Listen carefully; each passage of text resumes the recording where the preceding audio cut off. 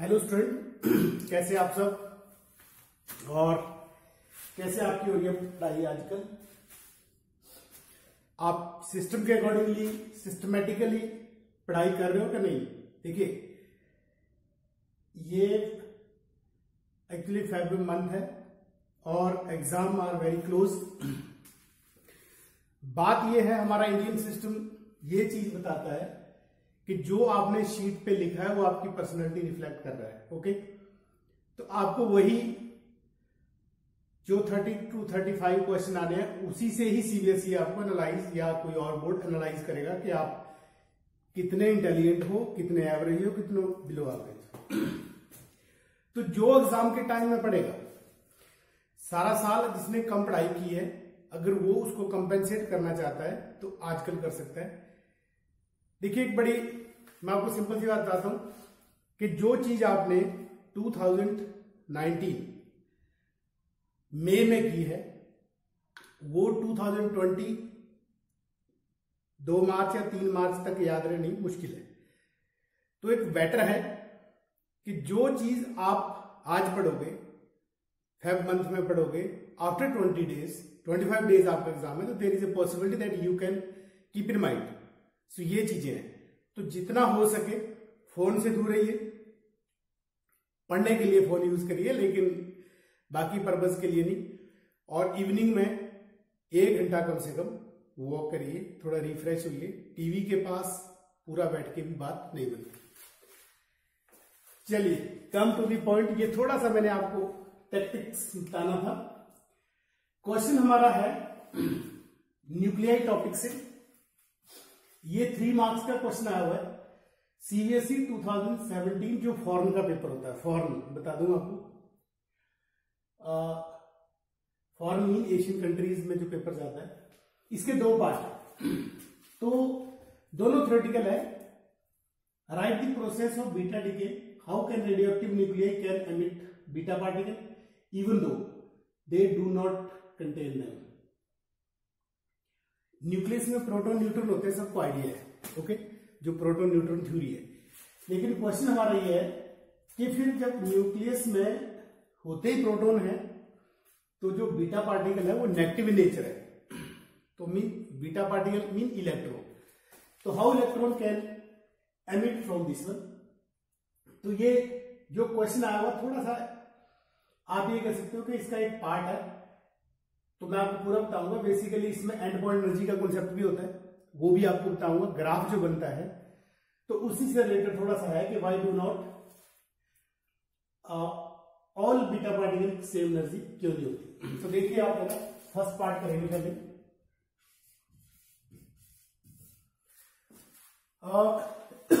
पहले तो आप बीटा देखिए। Beta negative these are negative charge particle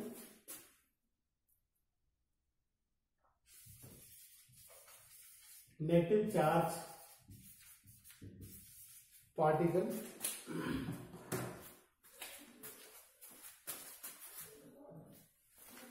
और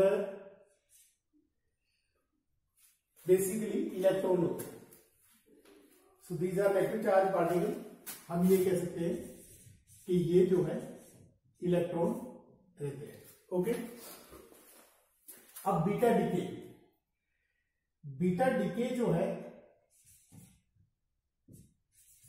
बीटा नेगेटिव में लिख रहा हूँ बीटा पॉजिट्रॉन भी होते हैं तो हम बीटा नेगेटिव की बात करते हैं। Beta decay mean when an atom will release when an atom will release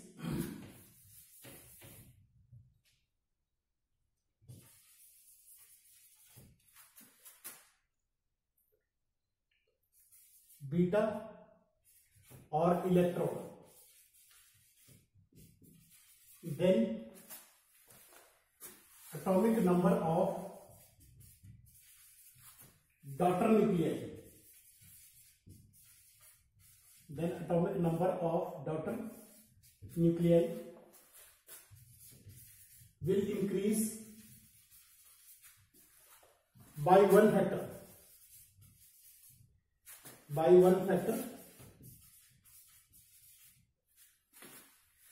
but no change in mass number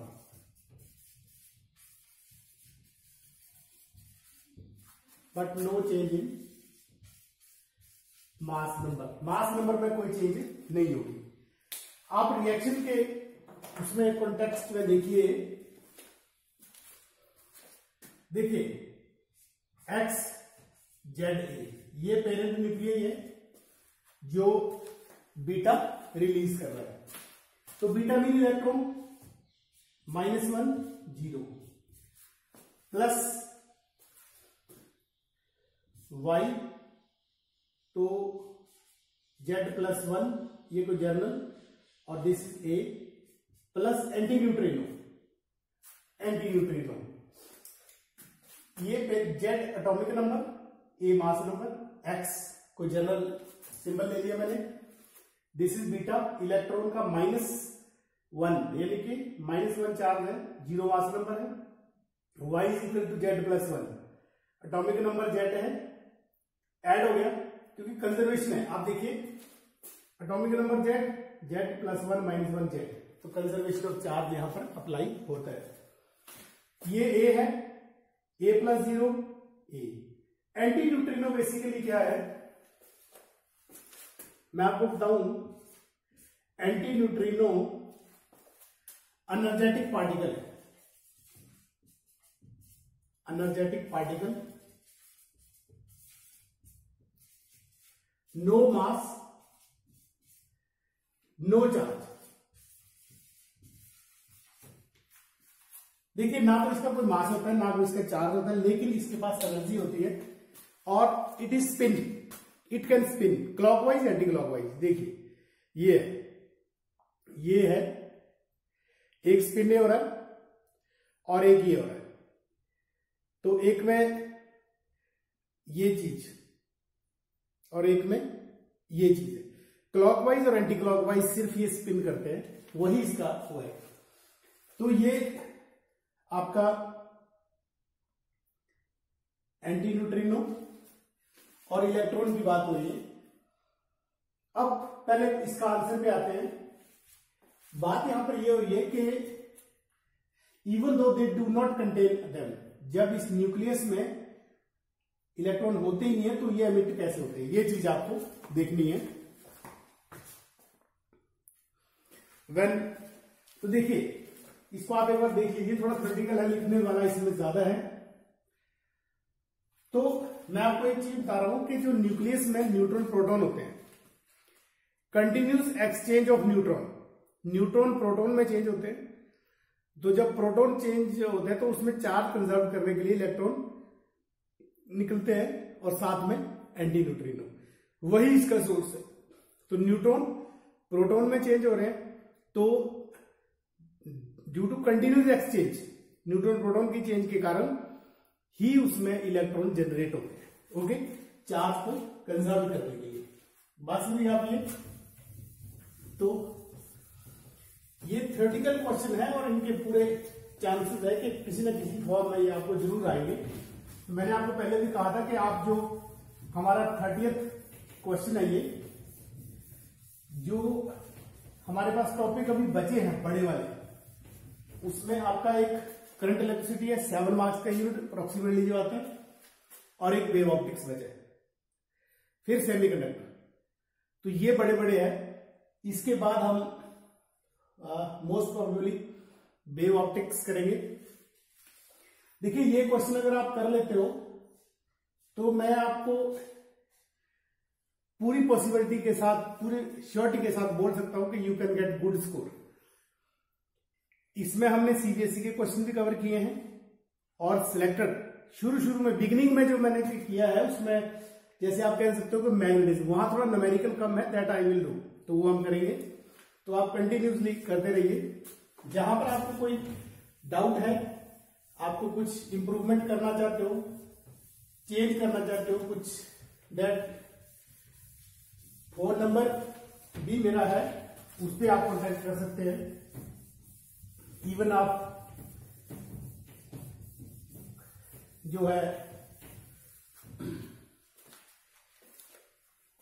comments कर सकते हो। फ़ोन नंबर की बात तो ये है nine eight seven two five five seven five one nine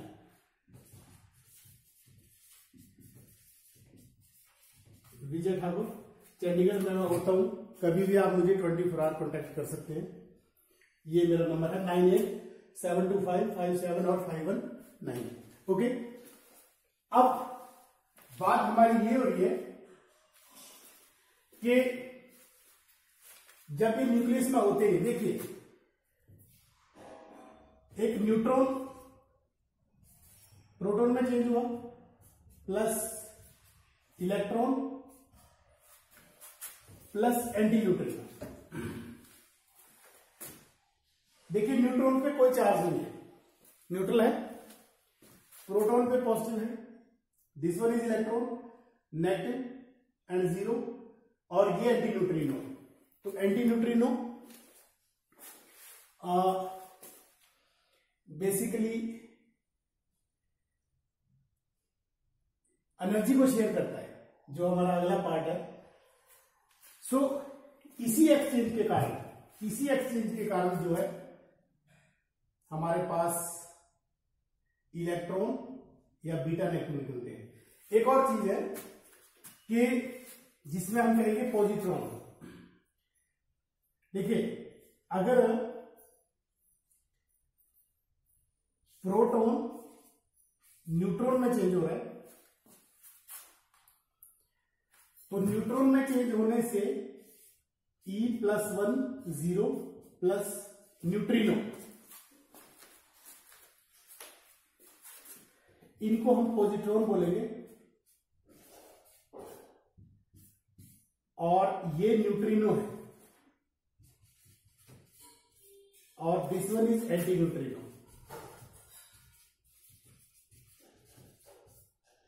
अब आप रहे न्यूट्रॉन प्रोटॉन में चेंज हो रहा है। तो electron charge negative plus neutral हो गया। यहाँ पर प्लस से अल्फ़ा न्यूट्रल पे कोई चार्ज नहीं है तो ये पॉजिट्रॉन बन रहे हैं। तो ये है source so continuous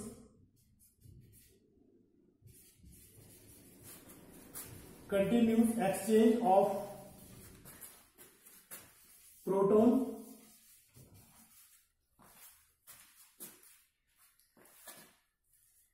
या neutron.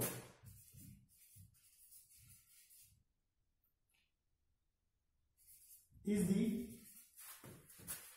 source of electron inside the nucleus. Inside the ये बात समझ गया? तो ये चीज़ है। अच्छा अब बात यहाँ पर ये है, जो हमारा ये चीज़ आ रही है कि why do all beta do not have same energy why do all beta do not have same energy तो यहाँ पर पहले मैं आपको एंड पॉइंट की बात करना चाहता हूँ। एंड पॉइंट एनर्जी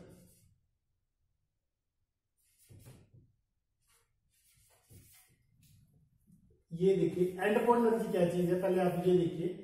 इस क्वेश्चन में नहीं है, लेकिन आपको थोड़ा पता होना चाहिए तो फिर आप तभी इसके बारे में बात कर सकते हैं। आपको मैं एक सिंपल एग्जांपल देता हूँ।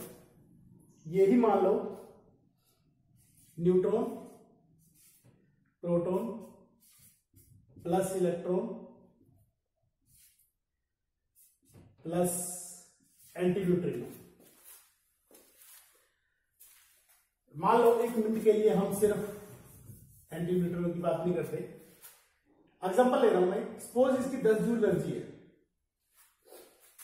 तो इसकी 7 जूल है। तो इसकी कितनी होनी चाहिए थ्री होनी चाहिए लेकिन इसकी एनर्जी जो है थ्री नहीं है। 2.7 10 जूल। और ये सेवन जूल फिक्स है। लेकिन इसकी फिर 2.9 हो गई, कभी 2.5 हो गई और कभी आपकी 2.4 हो गई बात समझ रहे ये मैं आपको ये बताना चाहता हूँ कि इशू क्या है। एनर्जी कंजर्वेशन सब जगह अप्लीकेबल है। अगर एनर्जी कंजर्व नहीं है तो कोई भी लॉ नहीं है। दस जूल एनर्जी पेरेंट न्यूक्लियस के पास थी, डॉटर के पास सेवन होगी, यहाँ टू पॉइंट सेवन यहाँ पर ज़ीरो पॉइंट थ्री का लॉस है, यहाँ ज़ीरो पॉइंट वन का लॉस है, और यहाँ पर पॉइंट फाइव का लॉस है, और यहाँ पर आपका पॉइंट सिक्स का लॉस है। लेकिन एक केस में ऐसा भी है कि 10 जूल जो है seven joule plus three joule exact अब यहाँ पर ज़ीरो लॉस कोई लॉस नहीं है। बात समझा तो देखिए एक्चुअली बिफोर एंटी न्यूट्रिनो पहले हमारा कुछ ऐसे चल रहा था कि 10 जून 7 जून और 2.7 जून 9 पॉइंट तो लॉस हो रहा था। वी आर नॉट फाइंडिंग हमें पता नहीं चल रहा था कि कहाँ लॉस है, कहाँ एनर्जी आ रही है। लेकिन ये जो लॉस है that was share by antineutrino तो ये लॉस एंटी न्यूट्रिनो ने शेयर किया तो यही एनर्जी एंटी न्यूट्रिनो के पास होती है। अब लास्ट केस में आप देखिए, ये जो मैं आपको बता रहा हूँ कि 10 जूल, इस पे ध्यान देना आपने। 10 जूल 7 जूल 3 जूल। तो यहाँ पर ये चीज़ हो रही है maximum energy three joule electron के पास अचीव हो गई बहुत कम केसेस में, कुछ एक। तो इसी को एंड पॉइंट एनर्जी बोलते हैं। समझिए बात आप? तो एंड पॉइंट एनर्जी क्या हो रही? It is value of maximum energy possessed by electron तो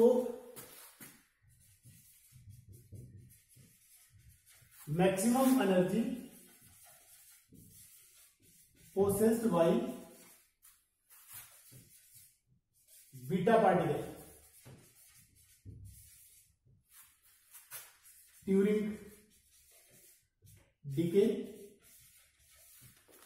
is known as end point energy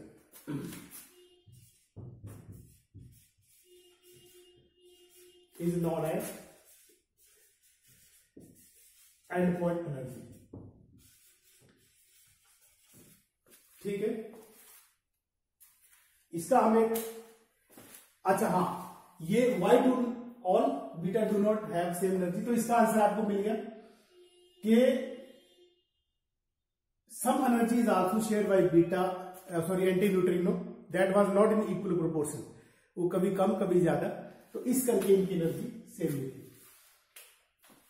B part इसका है तो वो बड़ा सिंपल है। आप कह सकते हो आने एक नंबर का।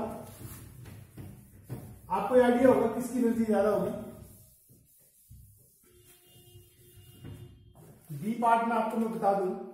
बी पार्ट का जो आंसर है हैवी न्यूक्लियाई स्प्लिट इनटू देखिए, मैंने बाइंडिंग एनर्जी का इससे पहले वाले लेक्चर में आपको करवाया था कि हैवी न्यूक्लियाई की बाइंडिंग एनर्जी कम होती है। तो they will split into light nuclei to get more binding energy तो सीधी सी बात है तो parents nuclei have more sorry daughter nuclei have more binding energy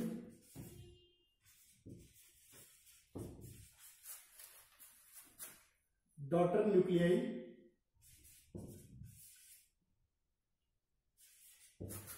have more binding energy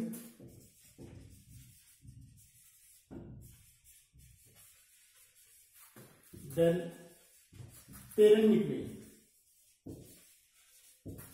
समझिए बात।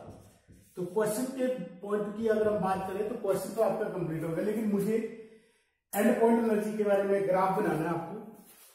और एक और चीज़ है law of conservation of energy and momentum is also conserve due to this anti neutrino अगर एंटी न्यूट्रिनो नहीं थे तो ना तो एनर्जी कंजर्व थी और ना ही कंजर्वेशन ऑफ़ मोमेंटम था।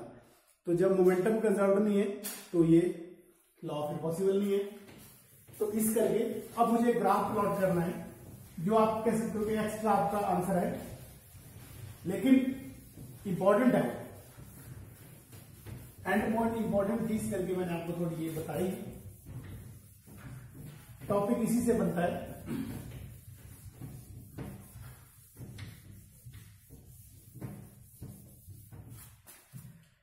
देखिए, आपको ग्राफ प्लॉट करना है। Graph between number of beta particle and energy.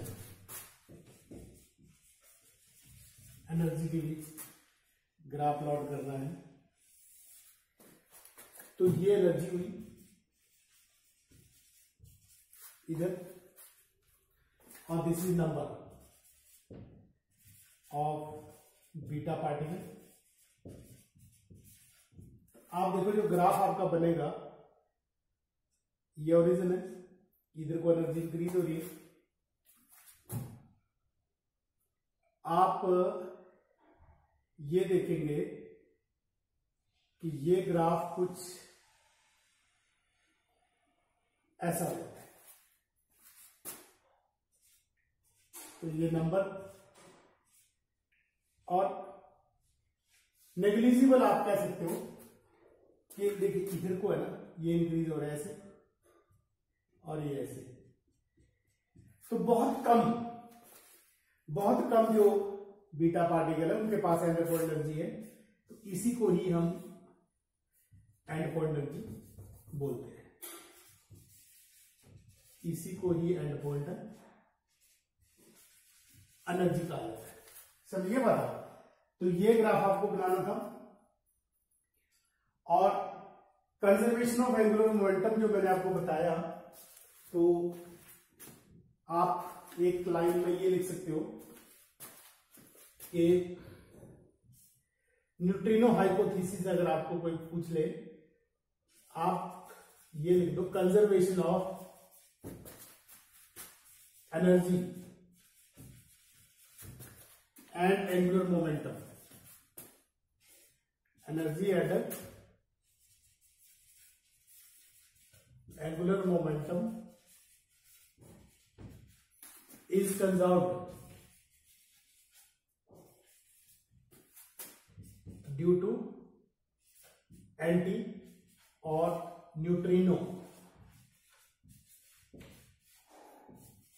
neutrino और एंटी इसी के कारण जो है एनर्जी कंजर्व रहती है ठीक है? तो ये बेसिकली थ्योरेटिकल क्वेश्चन था। थोड़ा सा आपको एक इसका पार्ट दे रखा था, लेकिन फुल क्वेश्चन जो है, ये है। एंड पॉइंट एनर्जी इसका ग्राफ कितने इलेक्ट्रॉन प्रोसेस करते हैं, बहुत कम प्रोसेस करते हैं तो ये अपना आपको ज़रूरी है। Okay so with this your question complete so please subscribe करिए। ज़्यादा से ज़्यादा लोगों तक पहुँचे। अभी हम ग्रोइंग स्टेट में है। Okay so thank you